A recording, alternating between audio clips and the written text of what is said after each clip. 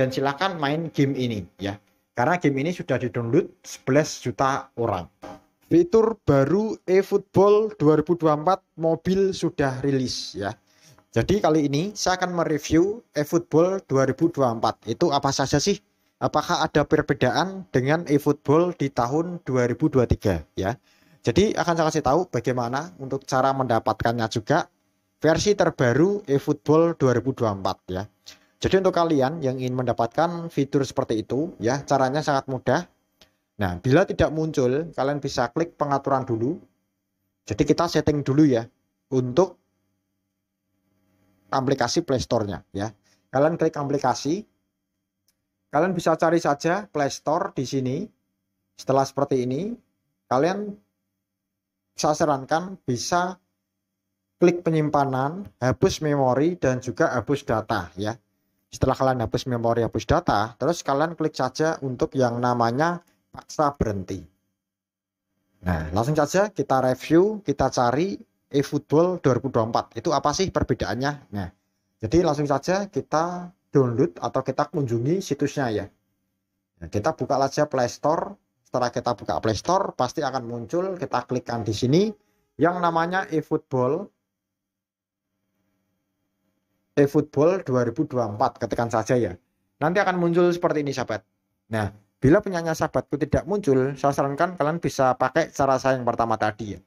Jadi ini sangat bagus sekali ya. Dan ini mulai dirilis dari tanggal, kita cari ya.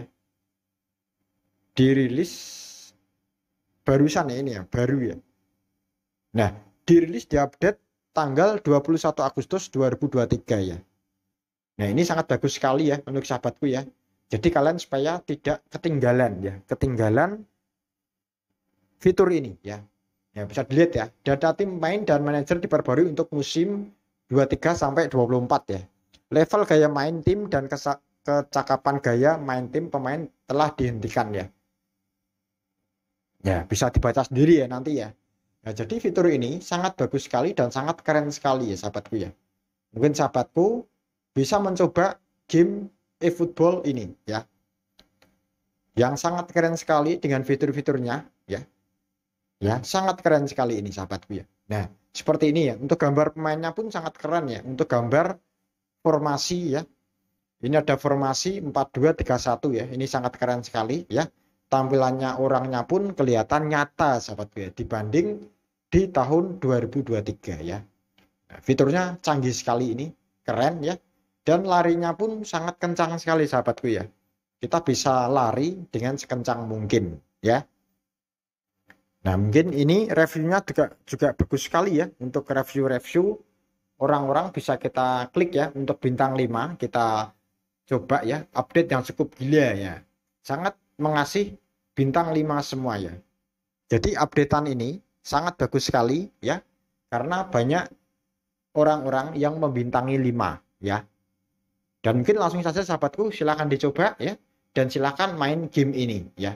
Karena game ini sudah di-download 11 juta orang ya.